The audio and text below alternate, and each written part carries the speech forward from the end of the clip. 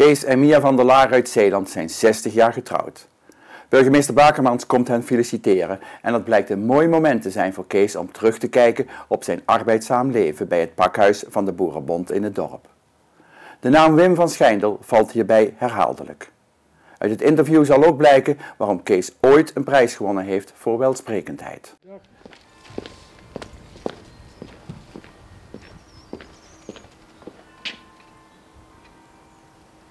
Goeiedag, ja, die, die komt voorop natuurlijk. Goeiedag, gefeliciteerd. Hey, gefeliciteerd. Daar zit het makkelijk. Nee, heel mooi. We zullen die eens wegzetten dan. Dan zal ik eens zorgen dat ik mijn handen vrij eh, ga krijgen. Ja, ja, ja. Alsjeblieft, mag ik hier u overhandigen? Dankjewel. En dan eh, voor de zoetigheid eh, misschien voor u. Nou, nou, dankjewel. En eh, volgens mij is er iemand in de buurt die er wel aan kan snijden. Kijk eens, alweer een, eh, ga hier voor mijn veiligheid leven. Ach, dat is, eh, dat is de. Dat is de. Oh, oh, oh. Nou, nou. Jullie, jullie zijn waar getrouwd in Zeeland, neem ik Ja. aan. Ja, Die, eh, ja. We zijn ja, echt Zeelanders. Ja, dat dacht ik. En, eh, Want hoe hebben jullie elkaar ontmoet? Dat willen, Ja. we, dat willen we natuurlijk als eerste weten. ja. Wij hebben elkaar ontmoet bij een afgebrande boerderij op Voederij. Ik denk Ja. dat ik al, toen was ik 17, eh, toen we elkaar ontmoet hebben. Ja. En jaar 15, maar ik denk dat ik zal wel Veel vijf jaar eer Je hebt lang moeten wachten. in, in de gaten van, dat lijkt me. Dat lijkt me wel Iets, iets, ja. dus- ja, Van der Laar en, en, en Van der Wijs, dat is natuurlijk wel, eh, dat is wel heel lokaal inderdaad. eh. Ja, Want jullie hadden ook een boerderij, eh, de Ja. ouders? Ja. eh, allebei. eh, eh, wij wonen op Kreesberg ja, ja, die kant. op. en ons huis is toevallig ook afgebrand, Oh, aan- Ik aangestookt. ben nou niet aan het Want hij moest weg voor de nou- industrieterrein. Ja. Dat begon net toen het industrieterrein. En mijn zus waren er op de boerderij gebleven en die kreeg toen van de gemeente een ander huis van Ja. verruilverkaveling ja, of de zoiets. ja, ja. En dan mo- moest dat huis weg. Ja. En Het- ja, toen hebben ze daar gevraagd, eh, anders moeten ze alles opruimen, eh, of dat ze er ook aan mogen stoken. Ja, En dan mocht En dan mocht Ja. Waar, poli- bij de politie erbij, hè. En moesten ze Ja. weten wanneer en Je eh, kunt het ook niet voorstellen. Ja. Dus werd nog, Ja, ja. Het huis werd gewoon afgebrand. gewoon, Ja, ja, ja, ja, gewoon ja, ja, aangestoken. ja, En waar zaten jullie dan met eh, de boerderij? Wij op de Zevenhuis. Op de zeven. En die boerderij is ook afgebrand. Van, eh, Het is al in de brand er zit uitgebrand. een, eh. een broer van me. Ja. Want wij, wa wij waren met vier jongens en vijf meisjes Ja, thuis. En ik was de oudste. En ja, ik wou boer worden. Maar eh, na verloop van tijd, ik heb de middelbare landbouwschool Ja. gehad in Kuik. Maar na verloop van tijd, eh, wij kregen al heel vroeg verkering. ja. Eh, toen kwamen we tot, eh, of ja, toen zijn we erachter gekomen naar een broer van me, die naderhand ook boer geworden is, dat hij toen ook interesse toonde om eh, de boerderij thuis Ja. over te nemen. 1954, toen was ik eh, 21. Ja. En eh, eh, dus toen was mijn broer zover dat hij ook naar de landbouwschool ging. Ja. En eh, ja, toen zeiden mijn ouders van, ja, wij hebben het liefste dat oké. nummer twee op de boerderij komt. Ja, Dan kunnen we zelf nog in ieder geval nog een jaar of vijf, zes ja, eh, want, eh, wachten ja. om ze over te dragen. Nou, en vanaf dat moment tot dat we trouwden, hebben we eigenlijk overal of cursussen gevolgd, eh, boek, eh, van tevoren de Ja. eh, middelbare landbouwschool, maar toen boekhoudcursus, eh, zaakvoerders die diploma heb gehad, ja, het kassiersdiploma heb gehad. En dus allemaal met eh, avond studie, ja, allemaal, Studie ja, en naast de en normale baan. overdag, eh, en overdag thuis, eh, thuis meewerken. Hm. Dus het, waren, het was ja, eigenlijk ook onbegrijpelijk hoe de mensen toen aan de kost konden komen. Wij, wij, wij waren met negen kinderen, dus we waren met elf. Bij ons tegenover hadden ze veertien kinderen, die waren met zestien man. En dan een boerderijtje waar... Jawel, nee. Maar ja, melk, eieren, eh, vlees, eh, daar, Jawel, en, en, de, en de luxe die wij nu allemaal hebben en we Ja. allemaal heel normaal vinden, Ja, eh, dat, had- ja. dat was er natuurlijk helemaal niet. ja, ja. Het was dag en nacht werken natuurlijk. Ja, ja. En toen heb ik, eh, toen was het 1958 en toen het pakhuis hier, die begonnen een boekhoudbureau. Het pakhuis, Maar weet ik niet wat het is, dat moet je even uitleggen. ja, het pakhuis, Boerenbond. dat was de Boerenbond. Oh, aan de, ja, ja, En die Boerenbond die hadden een, eh, een zaakvoerder en dat was toen de tijd Wim Verschijver. En was dat een soort van fi- filiaalhouder zoals we dat nu kennen? Of, eh, Nee, nee, want het, het is een coöperatie. Dat was ja. Het was de, boer, de, de CAV van de NCB. En de NCB, dat is de standsorganisatie, de Brabantse boeren, boerenorganisatie. En die hadden plaatselijk al die eh, pakhuizen, handel in veevoer en kunstmest. maar dat is niet te vergelijken met de boerenbond die ik ken, die op de Kapelstraat daar ooit gezaten Ja, ja, Ja, dat, dat wa- was- dat was Dat was hij. Dat was Ja. Daar dat heb was ik het, 25 ja. keer over Oké. gewerkt. Oké. En toen kwam Dan moet ik in mijn jeugd jou nog eens even 18 Ja, dat weet ik in 1958, toen kwam, we, waren een huis, we gingen een huis bouwen op de Putterlaar. Ja. En ik was er eh, iets bezig en toen kwam Wim Verschijner. De Daar, En dat was de Ja. zaakvoerder van de, Boerenbond. van de Boerenbond. En nou kwam ik iets heel geks verhalen, zei hij. Of dat je bij ons wilt komen werken. Ja, ik zat erop te kijken. Ja, ja, ja. Mijn gedachten waren voorheen al. Dus als, omdat hij geruchten wel gehoord had, dat hij daarmee wou beginnen. En toen zei hij van, we willen hier bij onze eh, coöperatie en onze handel in veevoer en kunstmest, willen Ja. wij een apart boekhoudbureau opzetten. Want op dit moment, zegt hij, hoeven die boeren nog, en dat was ook zo, niemand hoefde eh, iets bij te houden. Ja, ja. Niemand hoefde belastingaangifte te doen. Er kwam één keer per jaar kwam er een commissie en die kwam tellen hoeveel koeien of varkens En dat ze dan wist je hadden. ongeveer hoe de afdracht eh, En dan van vorige wist hij dan ook dus en dan daaruit maakten ze op of dat er winst gemaakt Ja, was. ja. Maar die Wim Schijndel die had een, een kijk op de, op de toekomst. Die zei van en het kan misschien nog geen, nog geen tien jaar mee worden en dat ze allemaal zover moeten zijn, of zover ja, moeten zijn, ja. dat ze ook administratie kunnen voeren. En, want we hebben wel een boekhoudbureau van de NCB wat in Tilburg zit, dat, toen heet ABAP nog Ja. het boekhoudbureau van de NCB. Ja, Dus die is er wel, maar die zitten veel te ver van ons vandaan. Die mensen hier, dus die, die, die moeten kort bij huis iets hebben Ja. wat ze... Voor een eigen boekhouder eigenlijk. Ja. Nou, en we hebben het opgezet, Adriaan Menelsen, die had de diploma's, Ja. die had meerdere diploma's. Gerrit Vollenberg en ik zouden dan met drieën ook bijspringen op Ja, ja. de werkzaamheden op het pakhuis.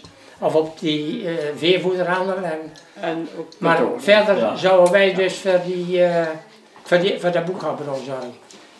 Maar dat was ouderwets met grote Dus kasboeken we- en eh, Ja, moest- met alle... wat ik- Ja, lekker. Ja, lekker. Alles handmatig toen. Ja. Wat ik eigenlijk nog al, bijna alle dagen aan denk, dat Wim Verschijner, die is in 1960, hij had me Al gevraagd en een anderhalf jaar naar de rand is hij op 46-jarige Oké. leeftijd al overleden. Een gezin liet hij achter, Ja. acht kinderen en een vrouw. Ja. Nou, ik vond het iets verschrikkelijks. Ja, Ja. En Wim, eh, die- net die- begonnen, die- hè, die- met Ja, dat dat was iemand. Die, die met mensen om kon gaan. Ja. En, en, Dus jullie moesten daar met z'n drieën ineens eh Ja, ja, ja. door, door ja, eh, toen we die heeft ook- ook in de oorlog eh, heel goed werk gedaan. Ja, voor verre. Ja, Verschijnen, Voordat, ja. ook al voordat hij zaakvoerder was, hij voor die voedselvoorziening. ja, ja. en ja, en ja. mensen die naar, naar, naar Duitsland moesten, eh, opengezet. geprobeerd eh, hier te houden. Ja, Oh, die man die heeft, ja, die, die heeft Zeeland nog eens iets ja. gedaan. Hè? Ja. Ja. echt. Die heeft, en is er ergens opgeschreven of niet? eh, Net dat- niet. Nee? nee, Ja, zo'n verhaal moet je Ja. nou, zo'n Ja, verhaal moeten bij de heen ja, kunnen eh, eigenlijk achterlaten. Ja, Dat is, eh, ja, ja.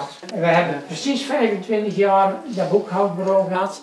En toen gingen die boerenbonden links en rechts fuseren. En daar paste dat boekhoudbureau Dat niet in. de die, aanbod geworden. Dus, eh, nee, maar, nee, maar die boerenbonden, die, die coöperaties met handel en veevoer, Ja, die gingen van Zeeland ging bij Uden en Boekel ging, of Volkel ging bij Boekel. Dus, de groter eh, en groter. maar daar paste dat boekhoudbureau waar wij opgezet hadden niet in. Nee. Want niemand, geen één boerenbond had, had een, een, Boekhoudbureau. een dus dat was ook echt... Ja. eh. Kijk, en toen hebben we contact opgenomen met, eh met ABAP. En we zijn alle klanten afgewezen. We hadden op dat moment, ze gingen allemaal op één na allemaal mee over. Moest, moet je je voorstellen, voor, en dat is nou, eh, ja dat was 25, dat was in, in, rond 70. Ja, Maar bent u zelf ook richting de ABAP gegaan in die tijd dan? En Of, toen- eh, ben De- toen, toen die laatste kranten daarover ja. gegaan zijn, Ja. toen zijn Gerrit Vollenberg en ik mee overgekomen ja. naar, eh, en daar hebben we al gewerkt nog eens dat we aan ons eh, pensioen Ja, waren. Ik ben geen boer kunnen worden, maar ik heb wel... nou, maar we, ja, we hebben samen wel zo'n mooi leven gehad. ja. Van, we werkten voor de boer en met de boer. En, en, en we gingen bij die mensen iedere week of iedere 14 dagen. ja, op. Dan moesten een bestelling op gaan nemen van veevoer en kunstmest. En dan wordt er meteen de boekhouding om de maand bijvoorbeeld, of Ja, om de twee ja. maanden bijgewerkt. Ja, dat was... En u, want eh, je mocht niet elke dag mee, neem ik aan, nee, nee, nee, werk. Nee, nee. Thuis, Soms werkt dat zo, hè, dat nee, de vrouw mee mag. Thuis werken toen die Ja, tijd, hè. ja. En bij andere gezinnen Ja. bijspringen Ja, als ja. nodig Ja. was. Hè, dat heb ik Ja. van, van, voor hebben we trouwden gedaan en naar de hand, ja, niet zoveel meer, want dan ga je thuis werken. Ja, de drie kinderen? kinderen hebben Drie kinderen? Ja, ja, ja. Ja. Kijk, en dat, dat was het werk Ja. voor mij, hè. Ja, nou, Nou, wat misschien wel heel erg aardig is, het is een verhaal dat altijd onderbelicht is gebleven. ja. Wat ik zelfs nooit echt gehoord heb, omdat hij gewoon te bescheiden is om daarover dat te is? praten. Dat is toen hij in zijn jonge jaren een declamatie gehouden heeft in Tilburg voor een publiek van duizend mensen. En daar stond, daar stond daags daarna in de krant, Ja. Kees van der Laar sprak als een Eisenhower. Nou, misschien, Vertel kan, eens. misschien kan Kees dat verhaal eens even Nou, vertellen. dan zal ik de vraag stellen, omdat je, dan kun je meeluisteren. In de krant. Ja, en, Ja, maar vertel. De Sint-Jansklok. Dat Ja, was dat was eigenlijk een... een, een, bisdomblad. Nou, ehm, En waar in Tilburg? ik heb... eh, We zaten op de In mijn- in mijn middelbare school toen, Ja. hè. In In 1954 ben ik Ja. naar school gekomen. Ja. En het was in maart 54. En wij moesten met het, met het, eh, af, eh, of met eindexamen Ja. van eh, de school een werkstuk maken. En ik heb toen een, een verslag gemaakt over het jonge boerenvraagstuk. En dat was toen heel, heel Populair. En dat verslag presenteerde Kees in declamatievorm op de school in Kuik. En de leraar vond het de moeite waard om dat verhaal ook in de regio Uden te houden, waar hij eerste of tweede werd. En daarna werd hem gevraagd om dat ook nog eens in Tilburg te houden, in de Schouwburg, voor een kleine duizend man. Dat was in de Schouwburg in eh, Tilburg. En er zat, ja, daar zag ik, dat was in de krant, er zat duizend man, Ja, maar er ja. waren, want er waren afgevaardigden ook nog van eh, andere bisdommers. En toen zeiden ze, nou komt de uitslag van eh, de vanmorgen gehouden eh, Wedstrijd. wedstrijd, spreken in het openbaar. En toen noemden ze een eh, naam en die is tweede geworden. En toen noemden ze nog een naam. En je En denkt, die naam ik- ik, die naam die ken ik. Nou, en toen moest ik, heb ik daar dus, eh, Ach, wat leuk. Het is een oude krant, hè. Ja, dat is wel mooi. Dus je hebt daar voor duizend man op het theater, Ja, ja, vol in het ja, licht. Ja, ja. Geen, vle- geen zweem van plankenkoers, vrij en frank stonden ze voor het gehoor van bijna duizend man. Met de juiste intonatie spraken ze de vergadering toe. Vooral nummer, nummertje 1, C. van der Laar uit Zeeland. Gaf even een voordracht weg.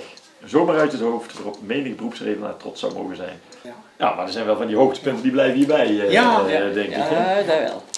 Maar toch, want jullie hebben een huis gebouwd in de Puttelaar. Nou zitten Ja. hier. Ja. Ben je vanuit de Puttelaar deze kant op gegaan of hebben we Nee. nog tussentijds... Nee. eh, Nou, we zijn nog naar de Laanboomse weg. en, eh, en waar? Want die is heel lang. de heel lang brandweer. de eh. brandweer.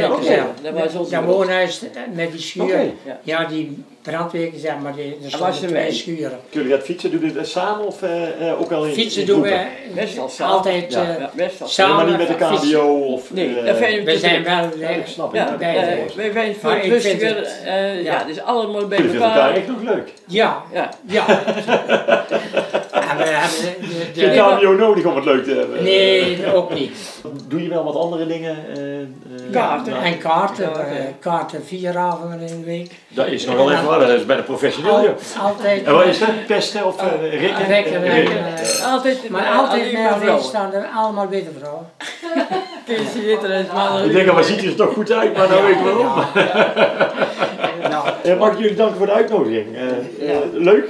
Ik, eh, ik hoop dat jullie dezelfde, Nou, met dezelfde energie doorleven zo met Ja, elkaar. ja, eh, proberen zolang, we. proberen wel. zolang als kan, Ja, ja, zou ik ja, Dat zeggen. proberen we wel. Ja. Hè?